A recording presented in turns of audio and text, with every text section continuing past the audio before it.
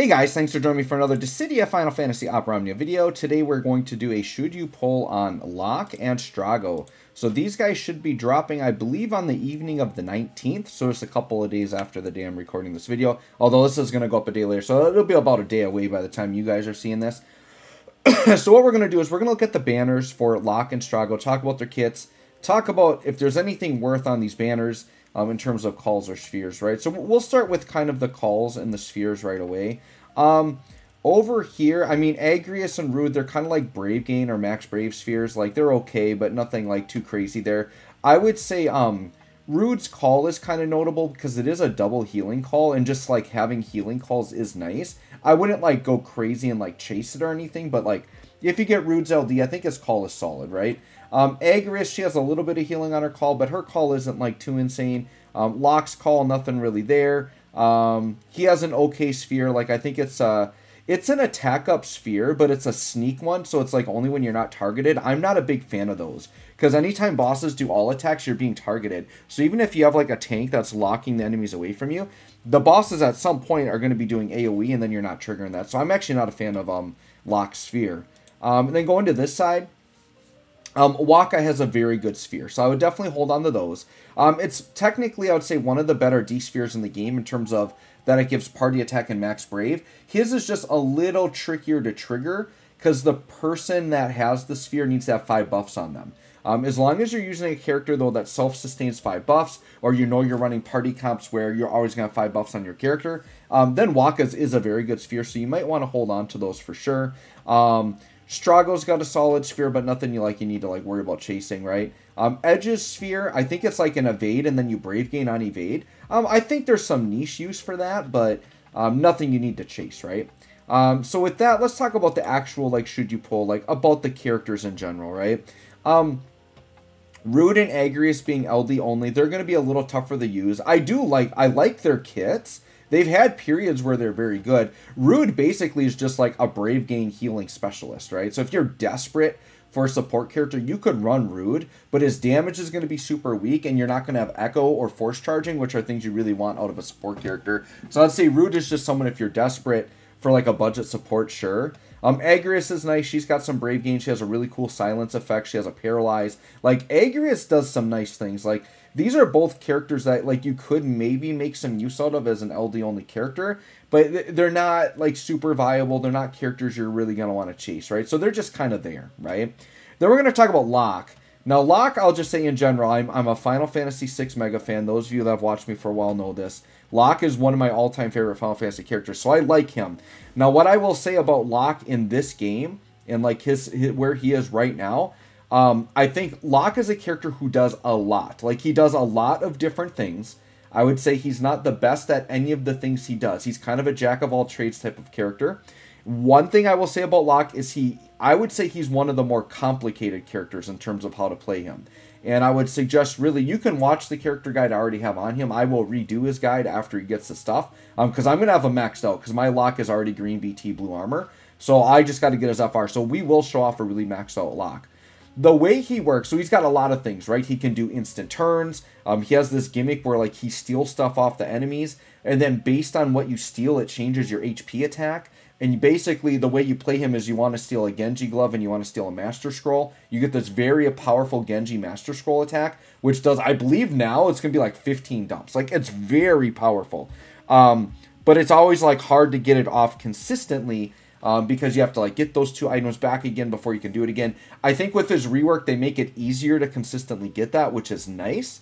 Um, but it's still not like the craziest thing. He also has like healing in his kit, right? So he just he does like all these like little things. He's got instant turn attacks, um, just like really interesting gimmicks, right? So I, I like him. He's very thematic fits the thief and all that very well. When you get that powered up HP attack, it is very powerful, right? Like 18 or like 15 dumps.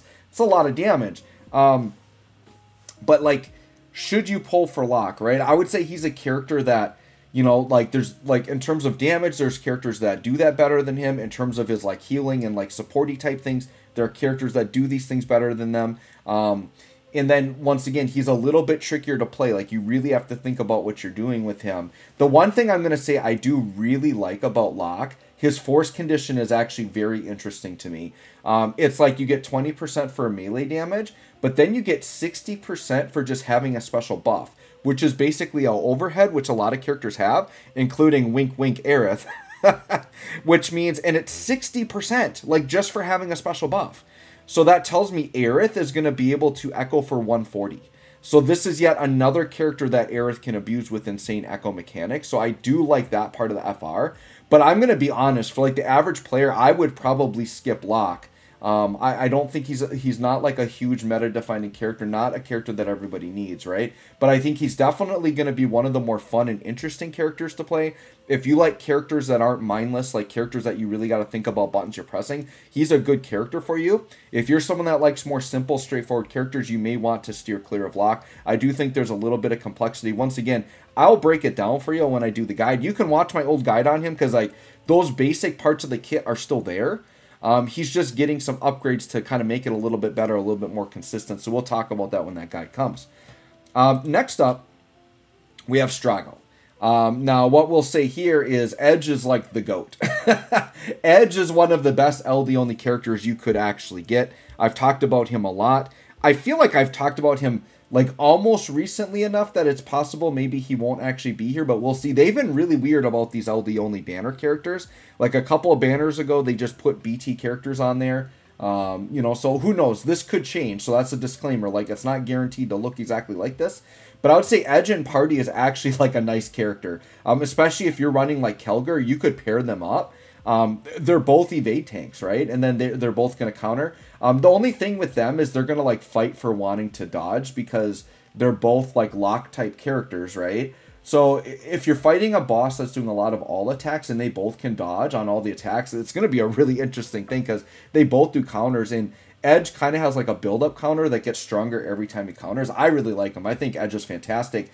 And Edge has a very unique thing with his EX where he gives party wide evade. Like oh, the whole party dodges. He's awesome. So he's like I think for LD only characters, like he's up there with like Selphie is like Selphie and Gladio and Edge, like to me, they're the upper echelon of LD only characters. So he is kind of a character that, like, if you don't have him, I, he probably is worth ticketing his kit because, like, he's just a great budget character to have, right? Wakka in the party, not a big fan. He he does support type things that he's got RNG like buffs and stuff like that, um, and debuffs, just like yeah, he's just a weird, odd character to play. Maybe down the road he'll be really good, but I think the best thing about Wakka, to be honest, is his sphere. Um, but he's not really worth chasing or like using in the party. Then we have Strago. Um, Strago is yet another uh, DPS character. Uh, so they've been giving us a lot of these uh, lately. He is a non-elemental magic damage uh, DPS character. He does have a unique. He has a couple attacks that do instant break. So his LD will instant break. Um, and he gets like a free turn after it, so you could like kind of spam that a little bit. And then he gets uh, he has something called Brave to Death, which basically, as long as the enemies have an even number of Brave, it will instant break him. So instant break is kind of like one of his gimmicks. But the big thing is, it's all about putting up his buff called Soul of Tomasa. And with Soul of Tomasa up, it makes all of his attacks trigger twice. Now, what's going to happen is, is if you're going to go for Strago, you're going to want to full invest and get the BT. The BT is going to be super important to his kit because what it is, is the BT makes it so Sola Tomasa lets the follow-ups trigger twice instead of once. So essentially the way you think about it is Strago base kit with Sola Tomasa up, every attack is happening twice. And this includes his LD, his EX, like anything he does is triggering twice. Okay? You have his BT effect up, now everything's triggering three times. And what you're gonna know, I think Strago's gonna be an AoE killer. Like, because all, all of his attacks are like big AoE shots. They're four HP dumps, which doesn't seem crazy, but when you're doing that times three, his whole kit now becomes 12, like AoE, 12 HP dumps. Like the damage is going to be wild.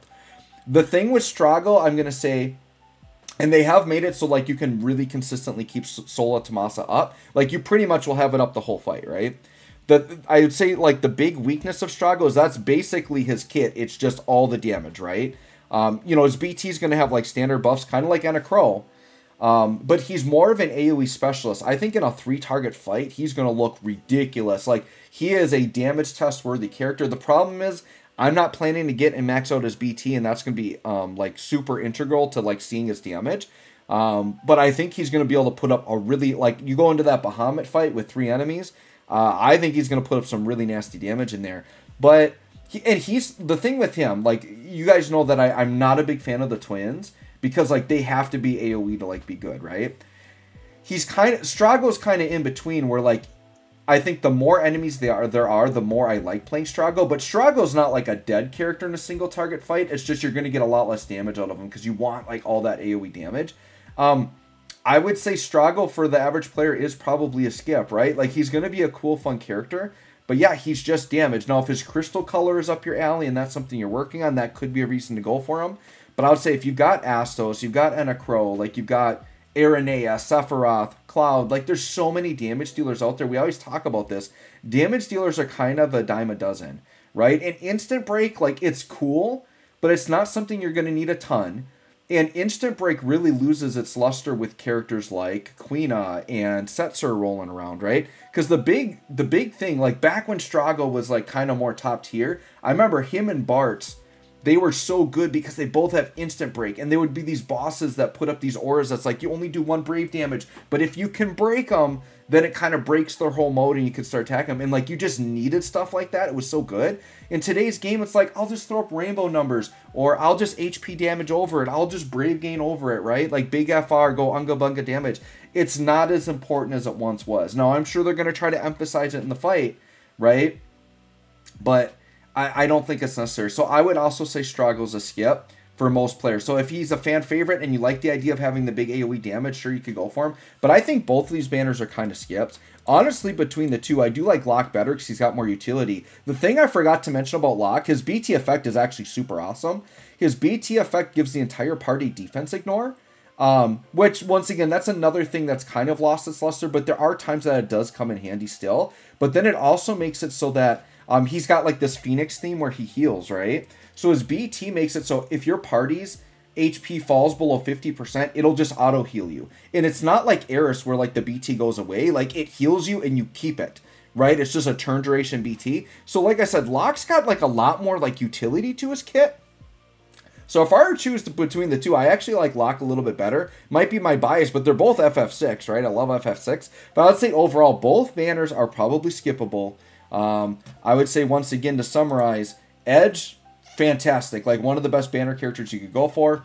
Strago, insane AoE damage if you want that, but not really a lot else other than instant break. Locke, a ton of utility, little more complex to play. Hard to consistently get his big HP plus attack, but once again, I think the FR helps with that. So we'll talk about that when you do. Like, I think his upgrades do make it a little bit more consistent. So I do want to look at him when I do his character guide. I think it's going to be very fun, but I, I don't think either of these are must have. And keep in mind, guys, we're really close to community stream, and I'm expecting a really big announcement. So if your resources are not fantastic, you really need to sit on this banner. Um, and wait for the community stream, which is literally dropping, I think, the day after this banner, maybe two days after this banner. Um, it's going to be like the Thursday, whatever the Thursday is. I'm thinking the 21st. I think it's Thursday the 21st. So wait for that. If you're even remotely on the fence, I would say only pull if you're like 100% positive you want these characters. But wait for community stream. I think there's going to be a huge announcement. Um, I would not be surprised if they announced the game merger at this point. I feel like we've been moving way too fast for that not to be happening. I think I think there could be something where they're going to talk about us merging with JP very soon. I feel like that's kind of what's coming, but we'll see. You guys let me know what you think the community stream is going to be. Let me know if you guys are going to pull or not. Thanks for watching. We'll catch y'all on the next one.